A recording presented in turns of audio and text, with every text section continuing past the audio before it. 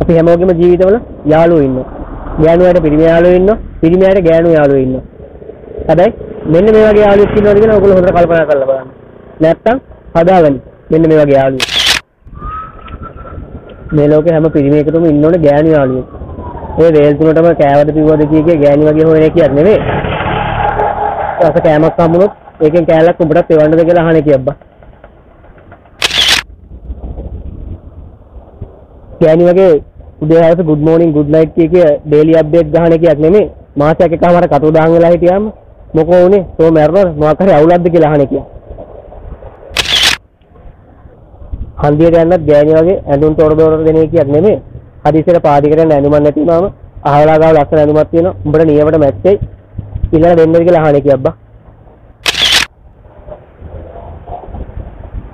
රැට රැට සීතලයි කිය ගෑණි වගේ හැමිනෙන්න හදන එකක් නෙමෙයි. විද්‍යාන දෙයක් හම්බුනාම තොටත් එවන්නද ගෑනටත් යවපන් කියන එක. ඒම ස්පෙෂල් ඩයස් එක මතක තියාගෙන ගෑනිට කලින් ගෑනිටත් කලින් මිස් කරලා ගෑනික දැන ගන්න හදන එකක් නෙමෙයි. ඔගේ ආවදල් මටත් මතකයි. කේක් කෑල්ලක් අරන් දීපන්. අපිට කන ටිකක් අරන් දීපන් කියලා පිට් එකට කියන එක.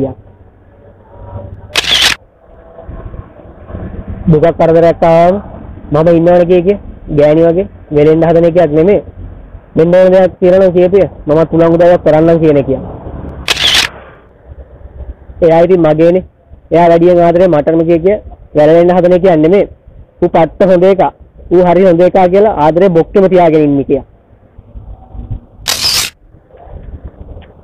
ඇත්තරම කියනවනම් හැම පිරිමියෙක්ටම ඉන්න ඕනේ ගෑණි යාළුවෙක්. හැබැයි ගෑණි වෙන්න දඟලන්නේ නැති. හැම ගෑණියෙක්ටම ඉන්න ඕනේ පිරිමි යාළුවෙක්. මිනිහා වෙන්න දඟලන්නේ නැති.